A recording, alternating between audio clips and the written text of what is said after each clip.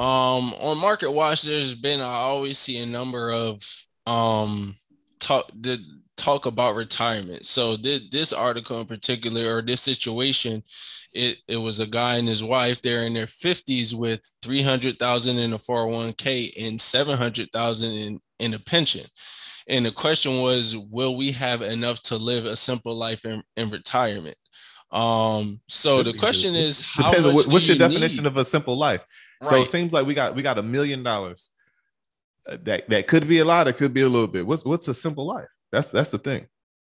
Yeah, everybody's simple life. That that you have to figure out that definition first. And I'm sure you got to prep yourself. This is where I say, you know, where I think in our society we kind of push things down down the line let me get this work done and then i'll travel so if you're experiencing things as you're you're growing older at that point in time when it's time to retire you're like hey i can live more simply you know i don't need this fancy car i just need to get to a to b or i don't need a car at all you know i don't hmm. really go anywhere so it's things that I think if you don't kind of delay gratification all the time, you kind of get that real life sense of what I can cut back on and live more simple when it comes to retirement.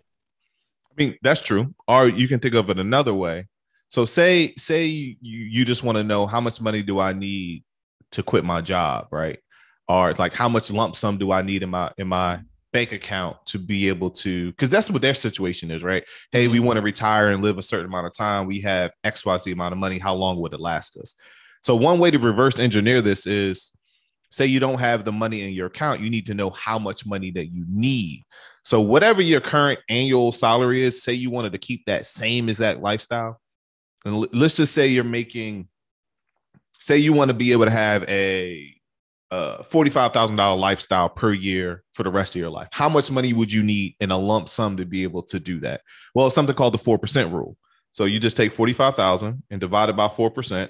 That tells you exactly how much you need, which is 1.1 1,125,000, right? So if what why is it 4% because technically if you invest this into say the stock market or S&P 500 I bonds or something like that and you're making over 4%, like say you're making 6% or 8%, you can take 4% a year and get your 45,000 and live your life. So that's how they reverse engineer it. So based off what they're saying, hey, I got a million dollars. How long would it last? Well, if you just say the 4% rule, they got a million bucks. So that's around $40,000 a year of a life that they're going to have. Now, depending on your mortgage, your cars, your eating out habits, that's going to determine how long this money will go. And also, if you're investing in, of course, I, I hopefully this just isn't going to sit in no savings account. Um, if you're investing it, then hopefully you're earning six percent, eight percent on average per year. The S&P 500, y'all, since its inception, has earned earned 11.4 percent on average per year. That's at average, so some years it's higher, some years it's lower.